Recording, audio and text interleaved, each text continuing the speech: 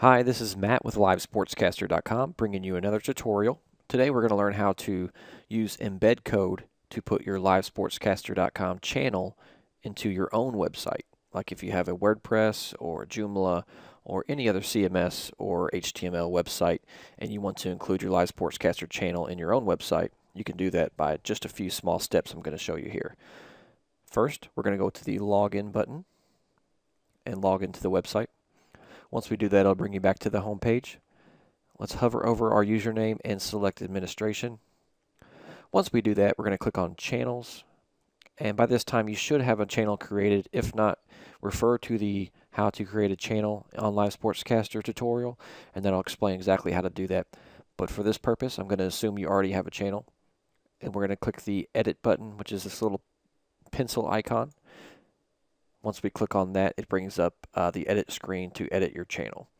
Um, refer to other tutorials exactly on how to edit your channel, but right now we're just trying to get information from the channel. So I'm going to click on the information tab. And what you're going to see here is two sets of embed codes. One is just a single player that'll basically play your latest clip and then automatically progress to the older clips that you have on your channel.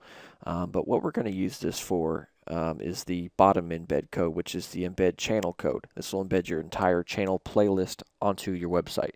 So just like anything else, you just copy that HTML code, it's iframe code, and paste it into your CMS. For example, I have already done this on my WordPress site for our Kentucky sports site, and you can see here that basically what we have done is we have embed the player as well as the playlist below it and this will allow you to, on one screen, be able to see all your podcast clips, videos, whatever you have, and not have to refer back to the Live Sportscaster site, but have everything in one place. It's just as simple as that. If you know how to copy and paste code and you know how to work WordPress, this should be as simple as it can be to get your playlist on your site.